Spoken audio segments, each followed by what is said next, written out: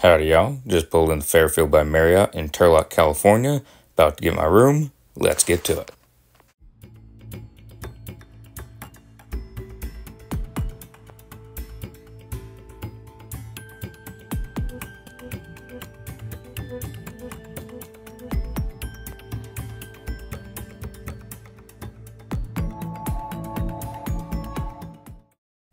It is a little bit on the warm side, about 105 going on 110.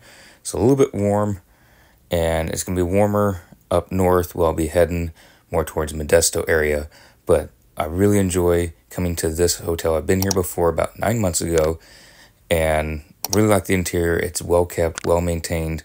The staff was always friendly. The room was great. I really enjoyed the room. I like how Marriott's, when you walk in, the TV has your name on it. Obviously, I have this blocked out for my name, but it does say my name on there. I always do a walkthrough before bringing any luggage up, making sure everything's nice and clean, making sure everything's put together, because I've had bad experiences, not with Marriott's, but with other hotels where things are just falling apart. And I don't want that. So I do a quick walkthrough. This was the pictures I took of my quick walkthrough. Everything looked great.